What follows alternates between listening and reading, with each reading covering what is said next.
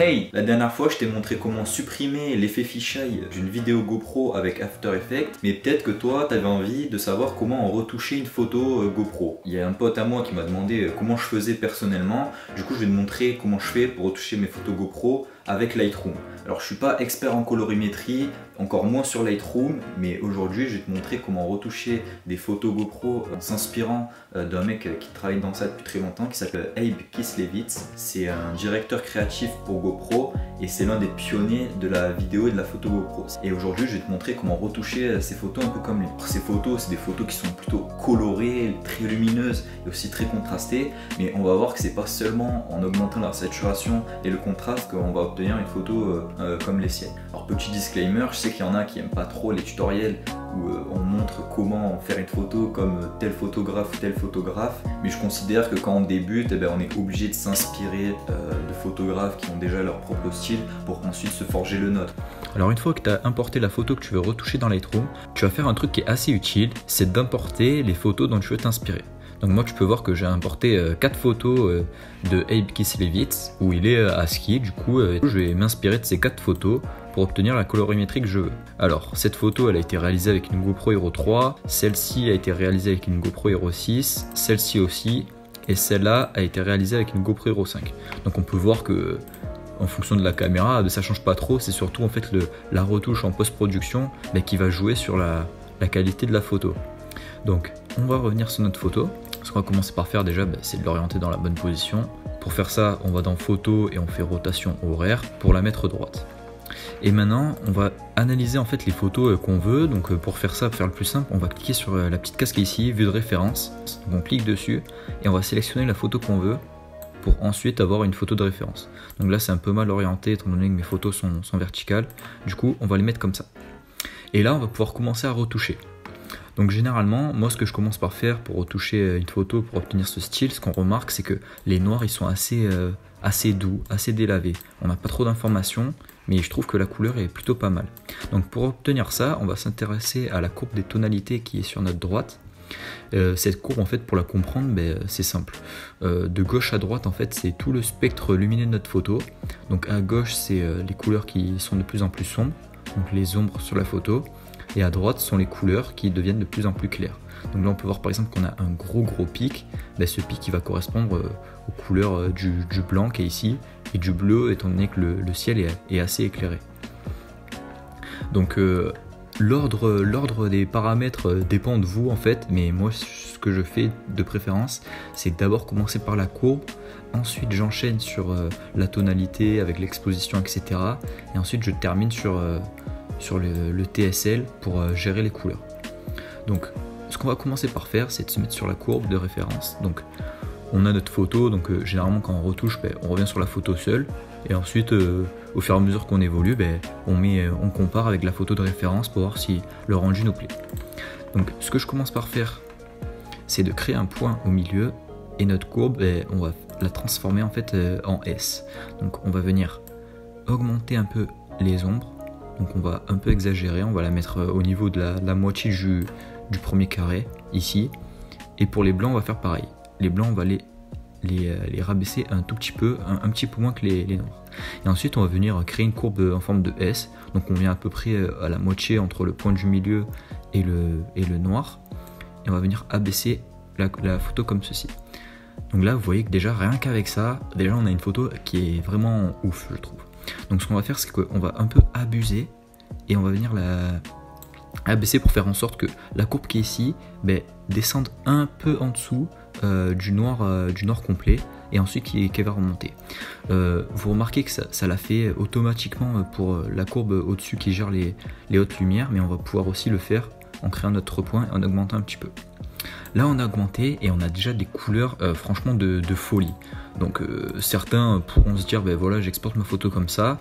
Euh, mais si vous voulez obtenir vraiment un résultat euh, comme, euh, comme une photo de référence qui est sur notre gauche ici, ou alors celle-ci par exemple, vous remarquez que moi mes ombres elles sont un peu trop foncées je trouve. Donc on revient sur la photo. Et ce qu'on va faire maintenant, c'est qu'on on touche plus à la courbe et on va venir se mettre sur les tonalités et les présences. Donc là, moi, euh, j'analyse. Donc euh, on peut aussi céder de l'histogramme qui est ici. Et on remarque qu'on a vraiment un gros pic sur les, basses lumières et un gros pic sur les blancs. Donc pour les blancs, moi personnellement, ça me gêne pas. Parce que je trouve que c'est pas très esthétique de voir les, traces de ski sur la neige. Donc à la limite, euh, là, ça se voit pas trop. Du coup, je le laisse comme ça. Mais étant donné que je suis à contre-jour, j'aimerais quand même qu'on voit un peu plus ma tenue, quoi. Parce que là, ça fait vraiment, vraiment sombre, j'aime pas trop. Donc, euh, bah, tout simplement, ce qu'on va faire, c'est qu'on va venir augmenter les noirs d'abord. Donc, les noirs, ça correspond vraiment euh, à cette partie-là de l'histogramme.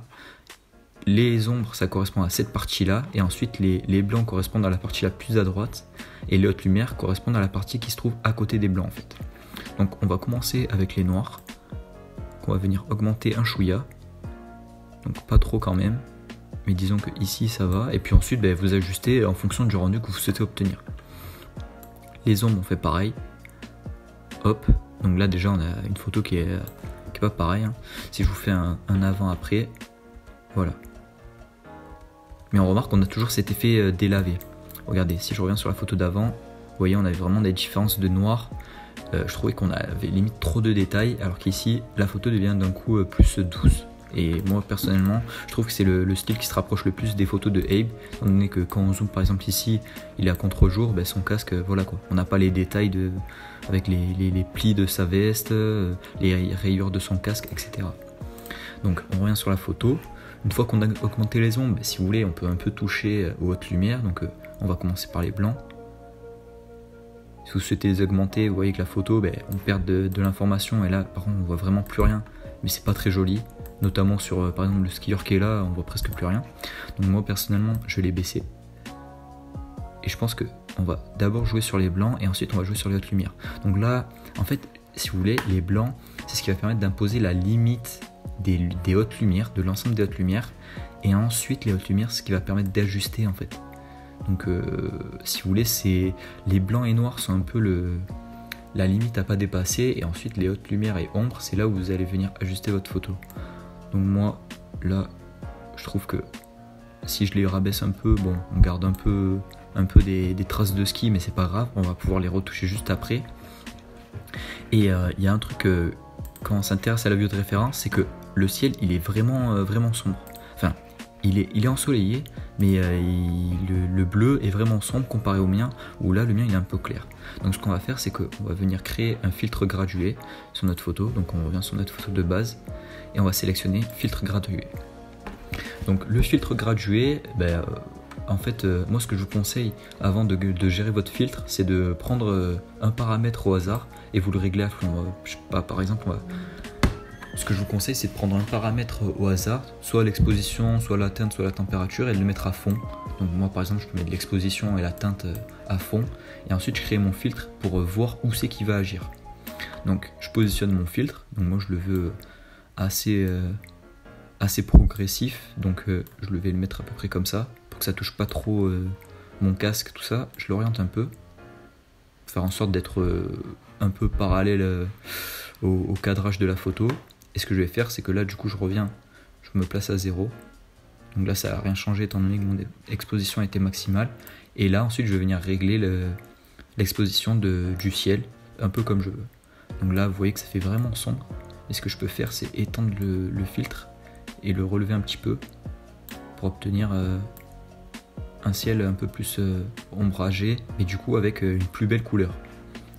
Une fois que ta photo elle est retouchée, tu peux l'exporter euh, sur ton téléphone, sur ton ordi, puis la poster sur Instagram, sur Facebook, euh, où, tu veux. Bon, en tout cas, si la vidéo t'a plu, ben, n'hésite pas à laisser un pouce bleu, à t'abonner si tu veux voir d'autres euh, vidéos. franchement, je trouve que pour une retouche aussi rapide, la photo elle est, elle est carrée. C'est carré comme un kiri, ma moula I here for the money, I here for the fame Though it might be nice to own a jet plane I'ma do it all for you, come along and see it's true